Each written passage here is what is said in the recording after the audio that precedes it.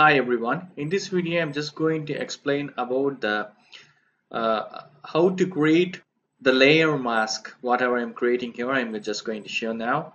So just make sure that you have selected this regular tool and this image should be selected then and just making this marquee see this marquee if you go to select um, I'm sorry just go to I mean directly to this. Selected tool and click here this corner bottom of the right hand. Click add a mask. It will automatically add this layer I mean uh, layer and mask. This is the mask with this uh, white I mean uh, outline. If you click this this will be showing as the image so inside this background is white has been set. If you want to see the transparency, go to edit and click preference and go to transparency. Here you can change this uh, medium. See you can see the transparency.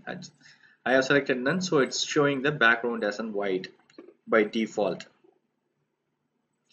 Here in this layer I'm just going to add this effect. I mean just going to uh, increase this um, feather you can see this. See you can see the feather also here. See also now I am going to add this uh, selection to using the uh, saved selection tool.